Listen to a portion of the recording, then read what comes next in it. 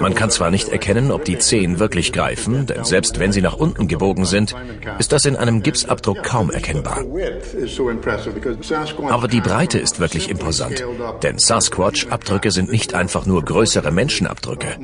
Sie sind proportional sehr viel breiter. Ihre Breite erreicht manchmal die Hälfte der Länge, was erheblich breiter ist als bei menschlichen Fußspuren.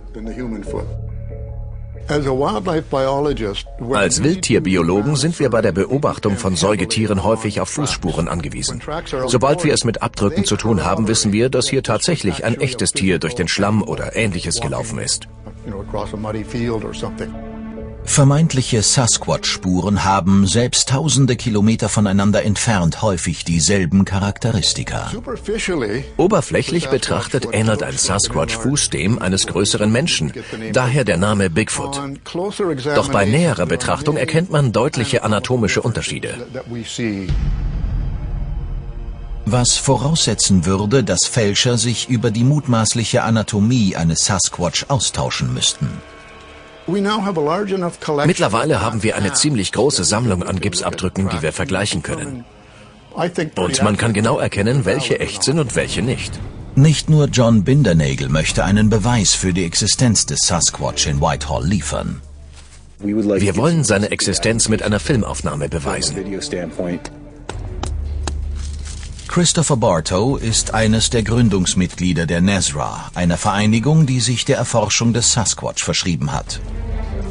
Die Gegend rund um Whitehall kann auf eine besonders reiche Geschichte an Sichtungen zurückblicken, die viele Jahre zurückreicht. Im Oktober 2007 war Bartow Teil eines Expeditionsteams, als er ein merkwürdiges Knurren hörte, das keinem ihm bekannten Tier glich. Es war ein sehr tiefes Knurren mit einer niedrigen Frequenz und einer Art gurgelndem Unterton. Ein anderes Nesra-Mitglied berichtet von einer weiteren Sichtung in diesem Teil des Waldgebietes im Jahr 2005. Und genau hier hat auch Steve Culls 2006 seinen über 35 Zentimeter großen Gipsabdruck gemacht. Die Vereinigung hat die Gegend in den letzten Monaten eingehend beobachtet, um die Expedition vorzubereiten. Sie haben Monster Quest eingeladen, an der Expedition teilzunehmen, jedoch darum gebeten, den genauen Ort geheim zu halten.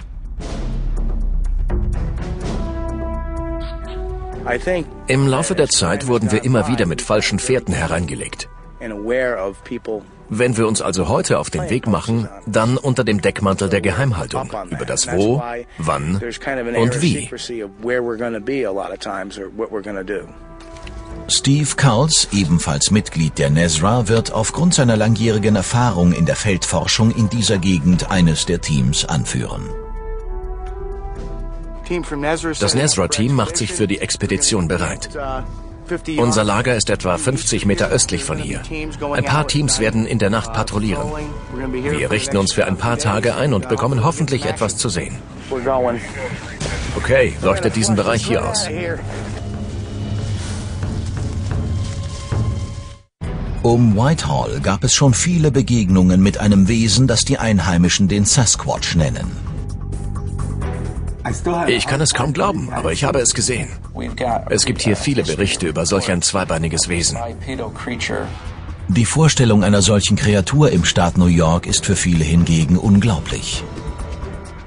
Das ist schon aus biologischen Gründen unmöglich. Die Meinungen sind gespalten.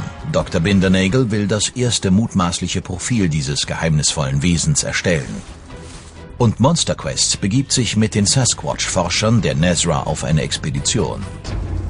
Während der Forscher Steve Culls die Umgebung nach ungewöhnlichen Spuren absucht, installiert Christopher Bartow die Kameras mit Bewegungsmeldern.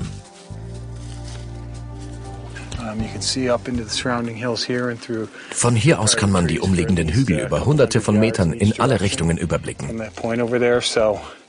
Zum einen haben wir hier also eine gute Akustik und zusätzlich auch den perfekten Überblick auf alles, was sich hier entlang bewegt.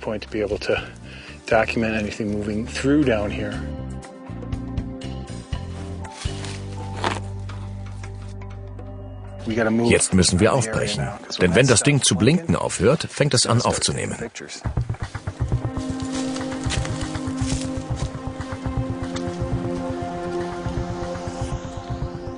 Hier im Staat New York haben wir mit einer derart dicken Laubschicht zu kämpfen, dass man kaum Spuren erkennen kann. Wir konzentrieren uns daher eher auf frisch abgebrochene Äste. Nicht in dieser Höhe, denn da könnten sie auch von einem Bock oder einem Bären stammen. Wir konzentrieren uns auf Höhen, die belegen, dass hier etwas sehr Großes entlang gelaufen ist.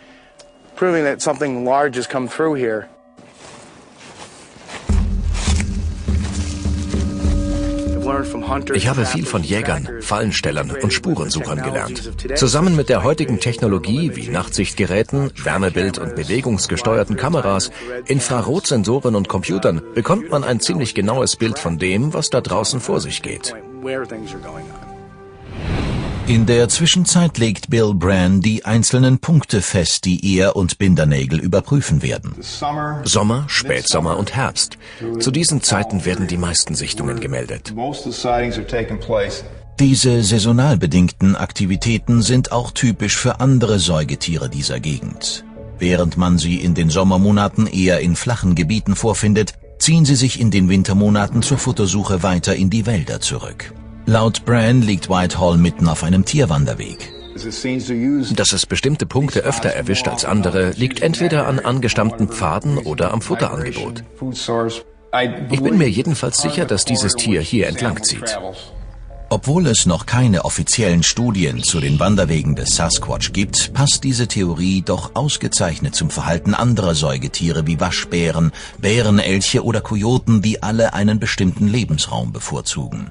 Sie folgen speziellen Pfaden, die ihre besten Beutegründe, Wasserquellen und saisonalen Aufenthaltsgebiete miteinander verbinden. Doch warum gibt es bei so häufig auftretenden Aktivitäten nur so wenig greifbare Beweise für die Existenz dieses Wesens?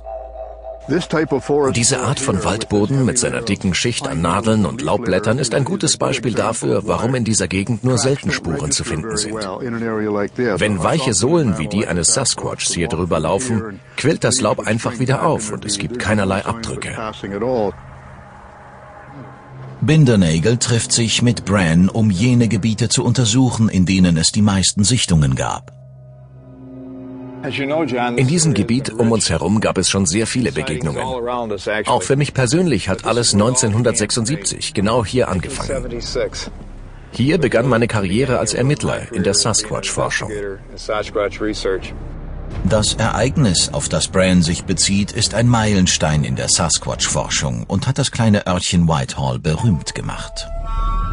Ich glaube fest daran. Ich war da, ich habe es gesehen. Auch Brian Goslin ist ehemaliger Polizeibeamter. 1976 sah er eine Kreatur, für die er keine Erklärung hatte. Es war eine Nacht im August 1976. Damals war ich noch aktiv im Polizeidienst von Whitehall.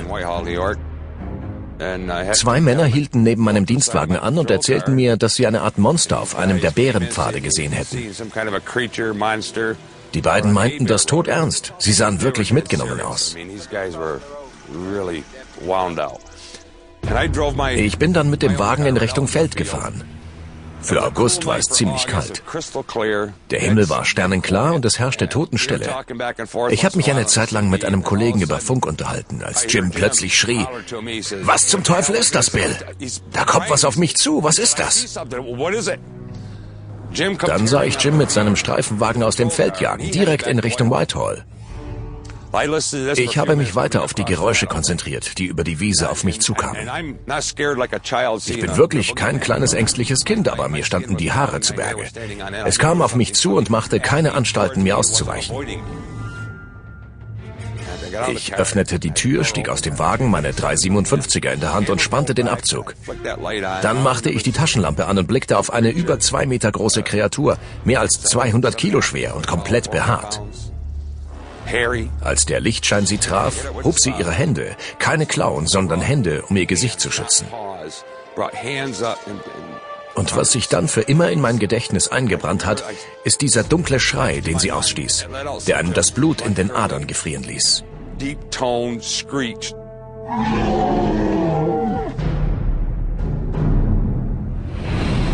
Bis ins 19. Jahrhundert konnten diese Laute und Sichtungen keinem bekannten Wesen zugeordnet werden.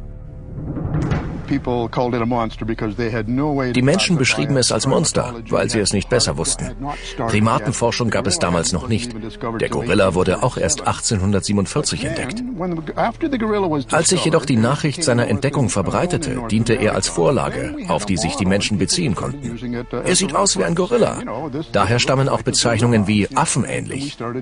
Mittlerweile sind wir, zumindest einige von uns, überzeugt, dass man ihn zur Gruppe der großen Affen zählen kann und er einem aufrecht laufenden Gorilla ähnelt. Wird es gelingen, den letztendlichen Beweis für seine Existenz zu erbringen? Die Nacht ist über Whitehall hereingebrochen und die Teams sind bereit. Geplant